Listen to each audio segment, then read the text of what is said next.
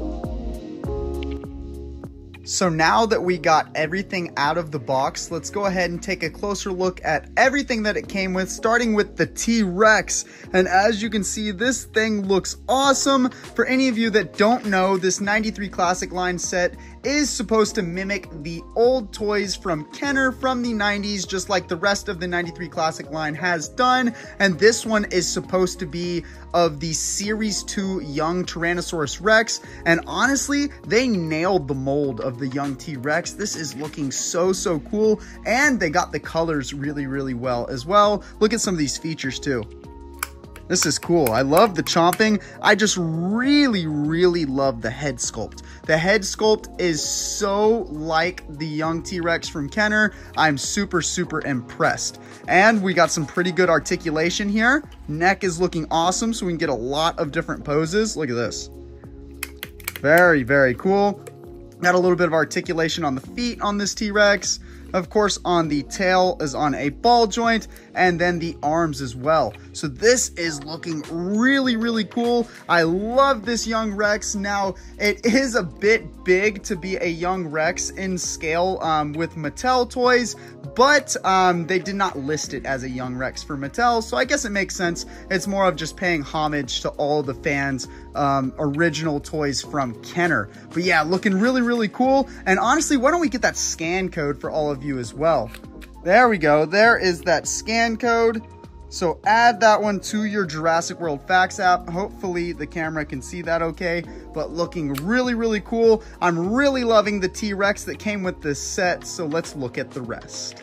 Now here is the Jeep it came with, and this is sick, guys. Look at this. Looks so much like the Kenner version. We got the swinging open doors on both sides. We got some pretty cool looking headlights and everything. Look at that Jurassic Park. I actually kind of like this uh, little design they did here. I think that looks really, really cool. Again, this looks awesome. This might be my favorite Jeep that Mattel has released so far. Um, I like the yellow steering wheel. We got the 27 on the side. This thing is looking awesome. The extra tire on the back.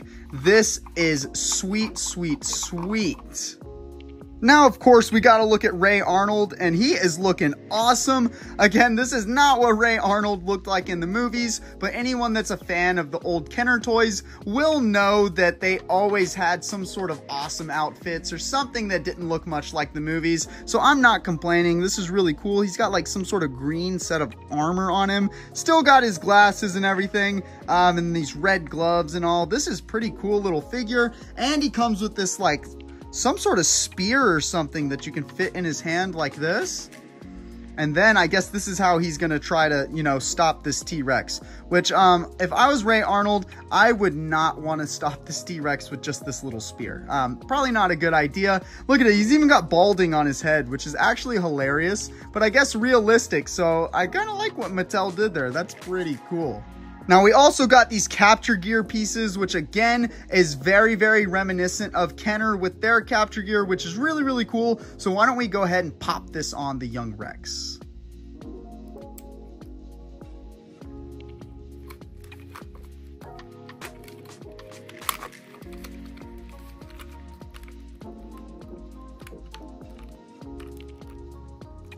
A little bit hard to pop on there, goodness. There we go. And now his foot chains.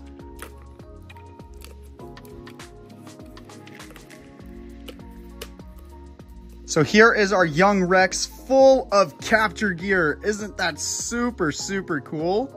Now let's see how well Ray Arnold fits into the Jeep. Come on, get on in there, Ray Arnold.